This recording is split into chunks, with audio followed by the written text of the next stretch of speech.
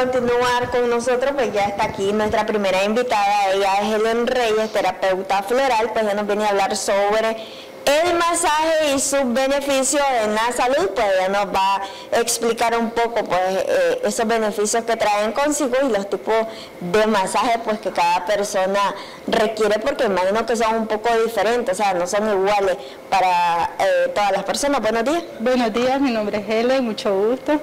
Eh, tenemos los beneficios de los masajes básicamente datan desde la antigüedad. O sea, eh, nuestros antepasados hicieron eh, las manipulaciones con las manos, ayudan mucho a las personas.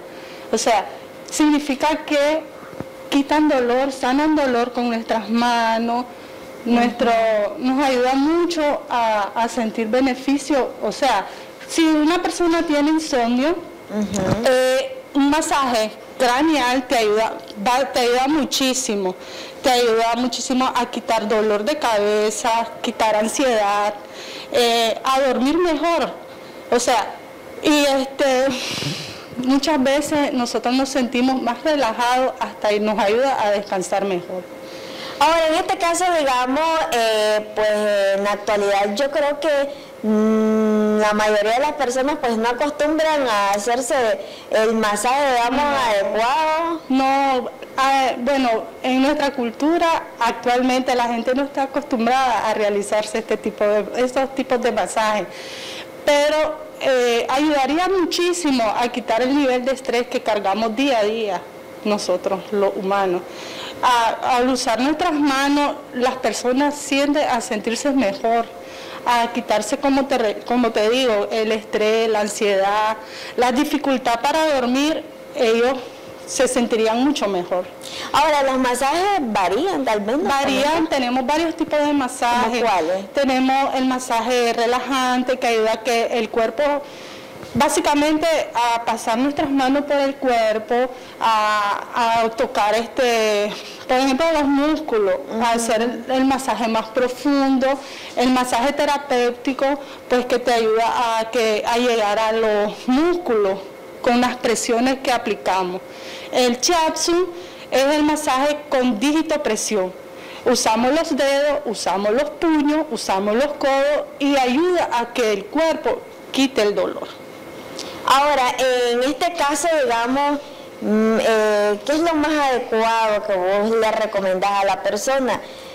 ¿Hacerte vos tu propio masaje o que otra persona venga y luego te dicen tenés mano suave, otro? Sí. Mira, yo recomendaría a la gente buscar a un experto para que te haga un masaje, porque no es lo mismo que vos te lo hagas a que te lo haga otra persona. Si vos buscas ayuda, vas, a sentir la mejoría que vos necesitas. Con las manos de un terapeuta vas a sentir súper bien. Algunos se quedan dormidos. Algunos roncan, se quedan dormidos, es cierto. en este caso, digamos, eh, la persona cada cuánto debe practicar o dependiendo, Sí, dependiendo el malestar que ellos tengan. Mira, hay personas que se les recomienda por lo menos hacerse masaje dos veces a la semana, una vez por mes, dependiendo el malestar que la persona presente. Ahora, digamos, el masaje es solo para la persona que está presentando algún dolor, se siente estresado o simplemente quiere hacerme un masaje para sentirme relajada. Mira, hay personas que llegan y te dicen, mira, no quiero que me hagas presión, no quiero que me hagas ningún tipo de manipulación, yo solo quiero que me hagas suavecito como que si estás tocando un bebé. Pero hay personas que llegan súper adoloridos, súper cansados. Es ahí donde usamos las ventosas, para que las ventosas nos ayuda a quitar más rápido el dolor. Ahora, en este caso, digamos, con, con el estrés, esos beneficios que traen, el, bueno, te, te, ayudaría a dormir mejor, como te digo, te quitaría, te bajaría los niveles de cortisol eh, y te ayudaría a, te estimularía más pues, a estar más relajado, a dormir mejor, a descansar mejor, a quitarse la ansiedad que cargan día a día. Ahora, para los masajes, ¿hay puntos específicos? Hay puntos específicos, por ejemplo, en cuello. La mayoría de personas llegan por dolor de cuello eso es fijo. dolor de cuello, espalda. Entonces, ahí es donde trabajamos más. ¿Qué otras partes del cuerpo Eh, también? También pierna, brazo, cabeza para el insomnio. O sea, un masaje craneal te ayudaría muchísimo para el, el insomnio. Ahora, en el caso, digamos, de alguna persona que tiene algún problema, en el caso de que tal vez se zafa un brazo, eh, tiene otro tipo de problemas, digamos, en la columna, ¿estos masajes cómo ayudan? Ayudan a mejorar, pero no a quitar el dolor. Ajá. Te ayuda a mejorar porque nosotros si una persona llega con este tipo de afectación, lo mandamos a un fisiatra. Porque nosotros lo que podemos hacer es aliviar el dolor, no a quitarlo ni a curarlo, pues. Ahora, en este caso, digamos, se, también se pueden evitar los masajes, en algunas En complicaciones. algunas complicaciones, por lo menos si tenés fiebre, no te puedo hacer un masaje. Si tenés una fractura, mucho menos. Entonces, nosotros para iniciar hacemos una entrevista al paciente, qué, es- qué síntomas, qué dolor en específico necesita que le trabajemos, qué es lo que, si anda una fractura, anda un dolor en general. Entonces, nosotros por eso hacemos la, y la, la entrevista inicial. O sea, ustedes hacen una evaluación, no es que llegue yo y, bueno, quiero Claro. hacerme un masaje porque me siento estresada. Ahora, sí, claro. Por lo menos si es una mujer y no nos dice que está embarazada, nosotros por eso hacemos la entrevista, porque a una mujer embarazada no la podemos poner, digamos así, boca abajo, porque no, es en contra del protocolo de nosotros.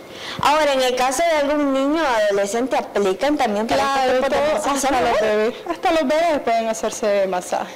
La mayoría de eh, los masajes, ¿por qué llegan? ¿Por estrés? ¿Por problemas de otro tipo de Por problemas de estrés, salud? por insomnio, por ansiedad y muchas múltiples, múltiples cosas. Ahora, en el caso de las personas que se llevan a cabo pues, eh, eh, estos tipos de masajes, hay otras recomendaciones que ustedes les dan que deben de tomar en cuenta pues, para que esto les ayude un poco más. hay unos en donde bueno igual les recomendamos que visiten a su médico de base si es- si se nos sale pues no podemos ayudar más allá del masaje a su dolor corporal que ellos sienten nosotros les recomendamos siempre que miren a su médico y con los masajes nosotros lo que hacemos es ayudarlos a sentirse mejor ¿Cuánto es lo que más o menos dura un masaje para la persona? Dependiendo, porque hay personas, una hora en general, pero hay personas que te piden hasta dos, dos, tres horas.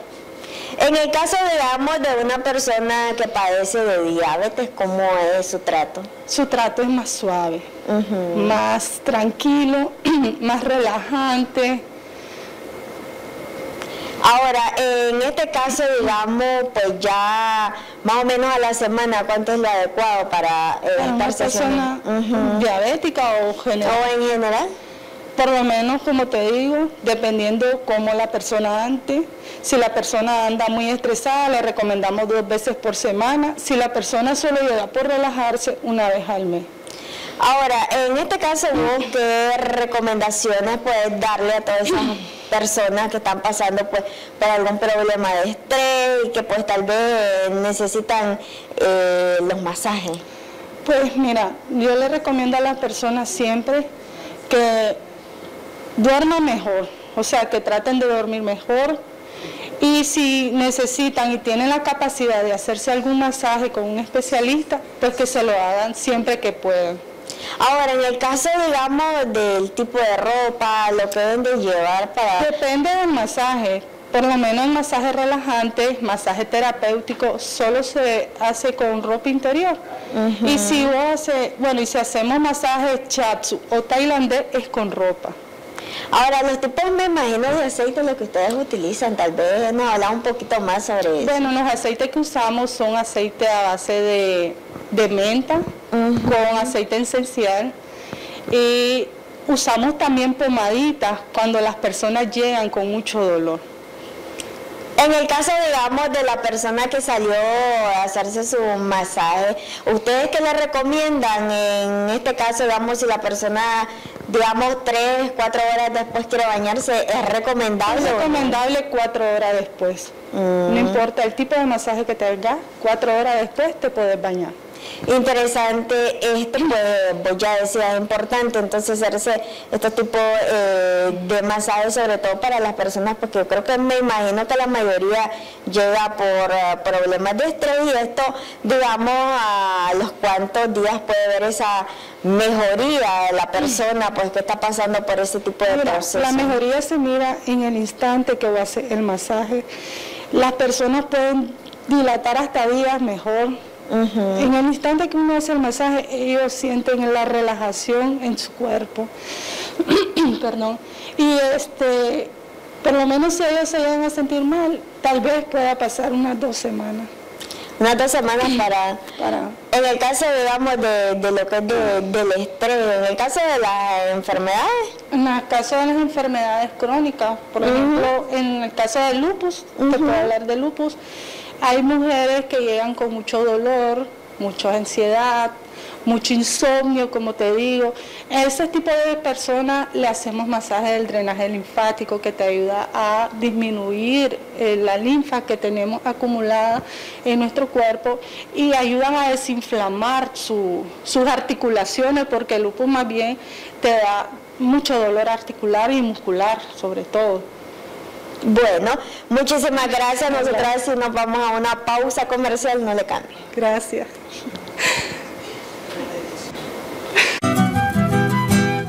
Reconocimientos, denuncias, quejas y sugerencias. Envíelas a Canal 12. Programa Buenos Días Nicaragua. Residencial Bolonia. O llámanos a los teléfonos 2266-0691 2266-9983, 2266-9984. Escríbanos a nuestro correo electrónico canal12 arroba canal12.com.ni. Redes sociales, Facebook Noticias 12 Nicaragua, YouTube, Canal 12 Nicaragua, Twitter arroba Canal 12 Nic. Visita nuestro sitio web www.canal12.com.ni